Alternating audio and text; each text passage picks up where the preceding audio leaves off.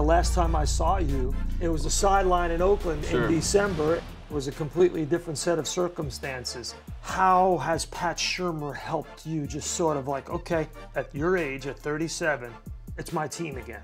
Yeah, well, I think just uh, you know, just the, the, the, the whole Giants, the organization, Coach Shurmur, everybody, and and, and how- they handled the offseason and, and saying they had faith and confidence in me and and uh, you know want me to be the quarterback. I didn't know how, what was going to happen this year, so I feel like hey, I've, I've got a second chance, and I want to prove them prove them right, prove that they made the right decision and sticking with me, and, and that I can play at a at a high level and win a lot of football games for the Giants.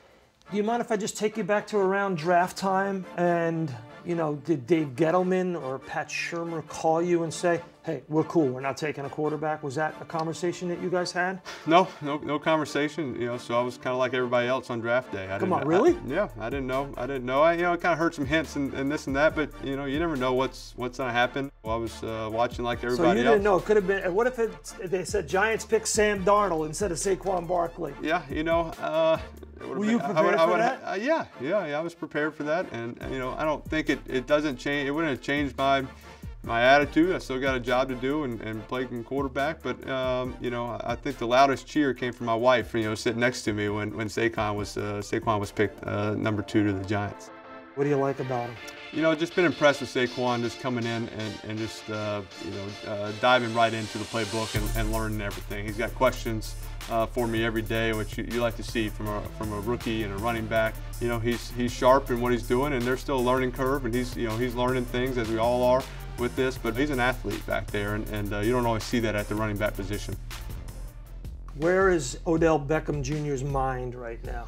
You know, from, from what I see, it's he's focused on learning this offense and playing playing great football. And uh, I think he's done a good job of kind of uh, avoiding all the distractions and everything else going on, and, and just worried about uh, this team. Uh, you know, he missed a lot of time in, in the spring, so uh, he's playing catch up. But uh, he, he's he's smart, he's working, and he looks good out there.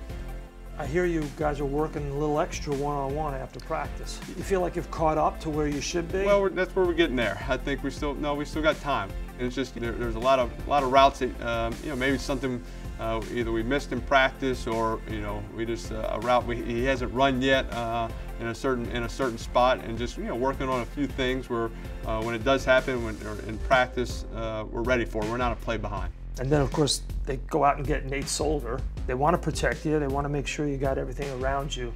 It's got to be a very comfortable spot for you.